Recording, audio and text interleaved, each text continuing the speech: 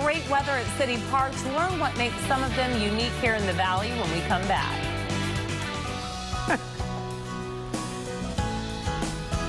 Well, in today's Community Spotlight, this is Arizona Cities and Towns Week, and we're learning more about innovative programs right here in our own state with Matt Lore and Avondale Mayor Marie Lopez Rogers. Hello, welcome to both of you. Thank you. I love this idea, Matt. Let's talk about what Arizona Cities and Towns Week is. Yeah, well, Arizona Cities and Towns Week is a week that's set aside each year, and it's to really highlight the services and the programs that cities and towns provide to citizens.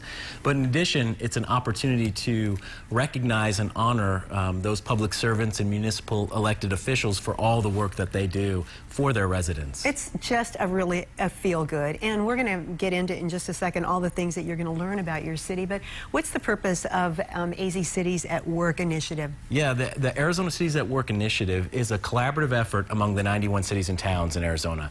There's 91 cities and towns, and they all got together and said, let's come up with a way that we can educate and inform our residents about all the different uh, programs and services that we do.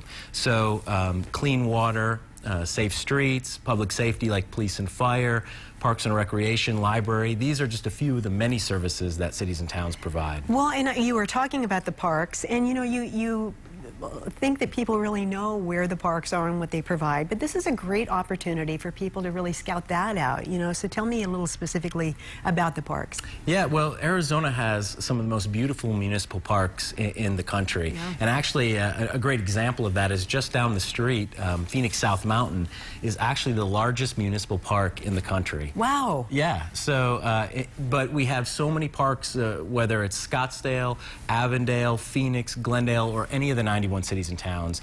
They, they allow um, the residents to get out, to ride horses, to walk, to bike, to BMX, to skateboard, and it's really an opportunity for the community to come together in these open spaces. That's why we moved to the Southwest, exactly. right? Now, exactly. Mayor, what, we, and we talk about um, uh, all the races and NASCAR and things like that. What goes into preparing for events at Phoenix International Raceway? Well, it's huge because it uh, actually our city doubles in size when we. Wow. it's, it's, huge. Uh, we have lots and lots of fans that come out to Phoenix International Raceway, so it takes a lot of services to uh, help out, and we partner very well with Phoenix International Raceway, whether um, it's fire, or police service, uh, recycling. We did 10,000 pounds of uh, recycling just last year. Uh, so NASCAR fans are very great recyclers. Uh, so there's a lot to a it. going into mm -hmm. it, right. Well, Mayor, how if you had 10 seconds to just promote Avondale and what you would want people to know during this week, what would you say?